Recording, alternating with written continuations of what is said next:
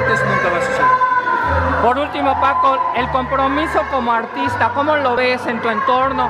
Cuando vemos que una revolución eh, civil española trajo a Machado, una revolución francesa trajo a los, a los, ilustradores y sin embargo el medio artístico no quiere hablar mucho de, de política, no quiere hablar mucho directamente de López Obrador porque no hay movimientos.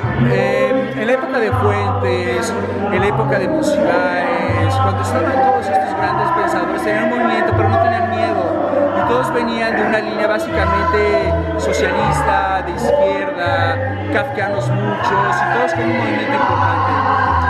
Todos los intelectuales hoy en día viven y son parte del sistema. ¿Por qué? Porque son los que dan las becas, los que tienen las becas, todos los mantiene el gobierno y vivimos una época en la que todos tienen como temor de expresarse.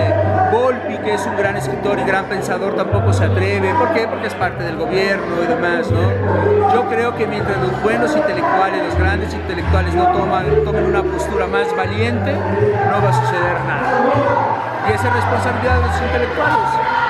Pero los intelectuales están también, como muchos de nosotros, en nuestra zona de confort. Apelando a tu sensibilidad, en concreto, ¿qué piensas que va a traer el gobierno de López Obrador? Algo muy importante, salir de la zona de confort, para bien o para mal, pero vamos a salir de una zona de confort en la cual ya estamos enquistados y eso es bueno. Enhorabuena, muchas gracias.